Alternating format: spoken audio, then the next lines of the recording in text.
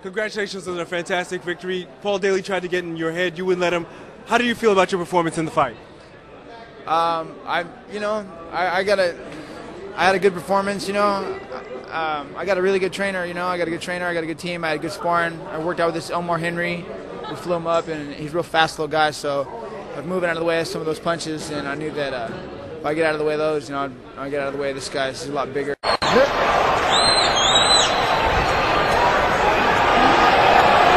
Gentlemen, this is for the championship, the Strikeforce Welterweight Championship. I want you to fight clean, fight hard, fight fair. If you want to touch gloves, touch them now. Step back so we can start. Nick Diaz starting already. Yeah, it began at the weigh-in. They lit the fuse. Incendiary ingredients for what should be a combustible main event. Diaz Daley.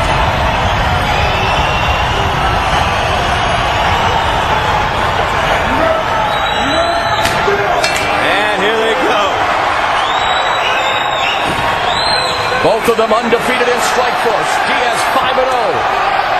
Daley 2 0 with two knockout wins. And the trash talking has begun.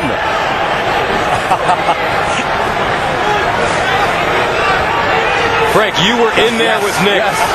What, what How does this trash talking affect? You know what it is? It's incredibly distracting. Like you just can't imagine that he's doing that to you, and he's doing that to you. There's a left hook by Daley. Diaz. Oh, Daley. Diaz is moving his head though. Oh, Daley has to be very careful. That kick almost caught Diaz in the head. That would have been illegal. But Daley all over Diaz. Daley is jumping on him. The knees and the left hook. Wonder if we're seeing some rope-a-dope here, my friends. Nick, though, with that height advantage, does not have a reach advantage. Daley fighting him close. Cesar Gracie told us that Diaz's overall boxing mechanics were the biggest improvement.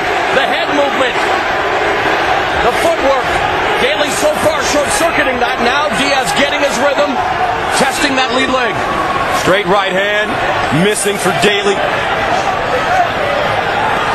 Diaz normally in stand-up a combination puncher, Frank Shamrock. Yeah. Right now he's just trying to get Daley to swing and expose himself. Give him to reach. He's looking for those holes. I like how he goes to the body as well. Nick Diaz, CompuStrike's biggest enemy. This is where I thought Nick Diaz should be hanging out against Paul Daley. Put him in the cage, beat him up, elbows, short punches off the off the cage. Now Diaz to the body, left hook by Daley. Diaz back downstairs up top. Daley pin. Daley in trouble. Daley look hurt. Daley holding on now. Daley looking for the takedown. Diaz going for the choke. Now Nick Diaz. What a start.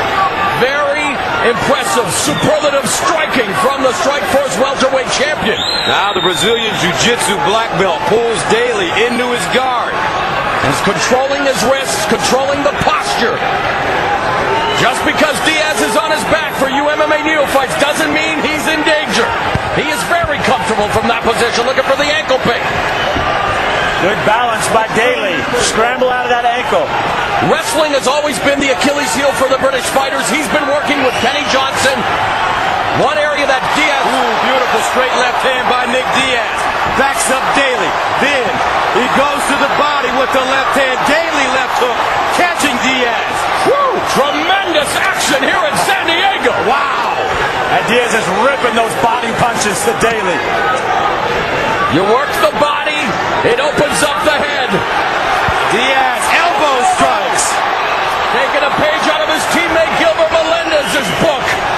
Daley looks wobbly. A beautiful knee. Muay Thai from Daley. And Diaz walks through it. One, two. They are banging, folks. This is what the fans anticipated. This is what the fans are getting. 130 to go. The Strikeforce World Welterweight title. Oh, Diaz is down. Daley jumping on him. Diaz was rocked by that punch. And yet is able to recover. Daley has been great with the knees. Now, ground and pound for Daley. 105 to go. Diaz doing a good job keeping him away with his feet, but he's got to get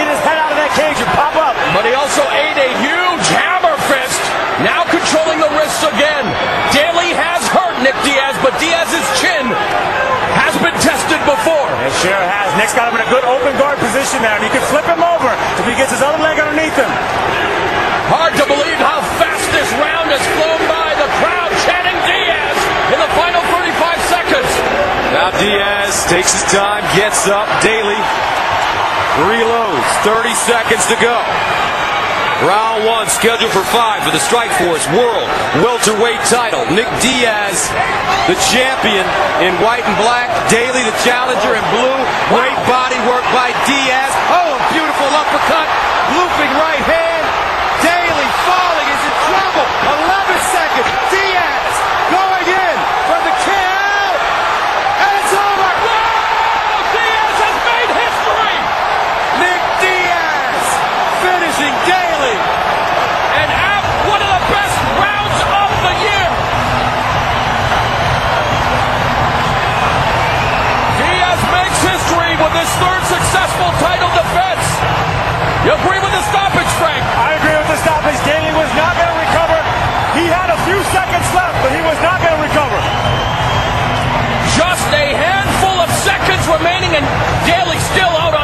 Had to be helped to the stool. The pendulum of momentum swinging to and fro. The ebb and flow of MMA. Diaz was in trouble. Diaz was hurt, but Diaz proved that his championship status is very, very worthy. What a fight! And even when hurt on the ground, he was moving his head, he was rolling his shoulders. He was in the game every single moment of it. And Paul Daley, what a game fighter and what a brilliant striker. An amazing striker, an amazing fight. We knew we were going to see fistic fireworks, and we got it. The fans now betting. Let's listen in.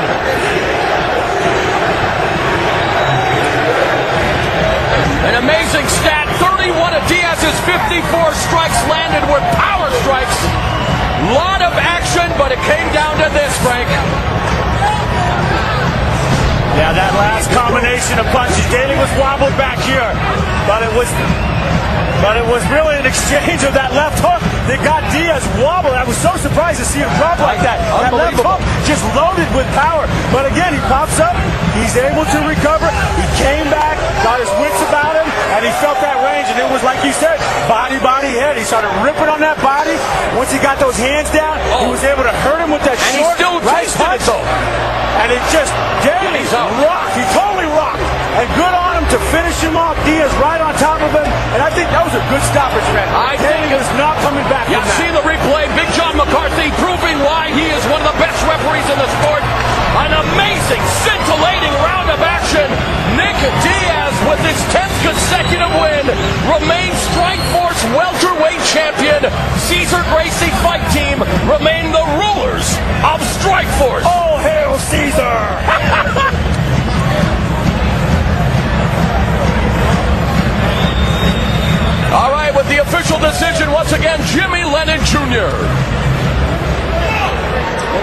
Well, fans, with a time of 4 minutes 57 seconds in round number one, a referee in charge, Big John McCarthy, stops the contest. He is the winner by way of technical knockout. He is still the Strikeforce World Welterweight Champion, Nick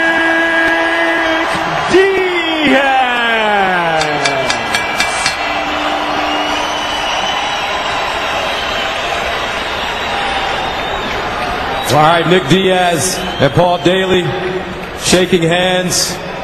Nick, you never feared his power.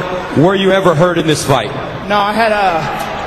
Um, I want to thank my, my partner. Uh, came out, uh, hooked me up some sparring. His name's Omar Henry. Give a little shout out. I appreciate that. You know, he's real quick. You know, so guy wasn't. You know, don't have to make this guy miss his punches. You know, it's not. It's not a problem. 10 straight wins now. Uh, you are in the sweet spot in your career.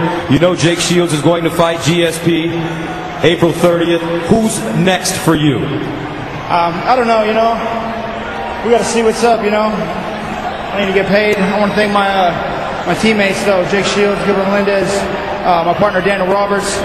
everybody out on Gil's team, helping my wrestling, and uh, you know, Cesar Gracie, Cesar Gracie Jiu-Jitsu. Okay, come see us in Lodi, 230 School Street if you want to learn, if you want to learn some Jiu-Jitsu technique, and uh, you know, not everybody trains to fight like this. You know, some people just want to learn some Jiu-Jitsu and uh, and uh, you know, train martial arts. So come see us. What does it say about the Gracie team, looking at what your teammate Gilbert did tonight, what you did tonight? You know, when I when I started, uh, when I was a kid, I knew that. Uh, I, I mean, I, I watched Royce Gracie and I watched you know Gracie Jiu Jitsu, and uh, I just if, if I'd have known it was in my backyard, I would have got started earlier than I did. You know, but uh, I met Steve Heath, and uh, he took me to Cesar Gracie Academy, and uh, you know, I try to make like David Terrell and uh, get my wrestling right, and you know, that's what's up. Now I'm here. Well, congratulations, Nick Diaz, folks. Make some noise.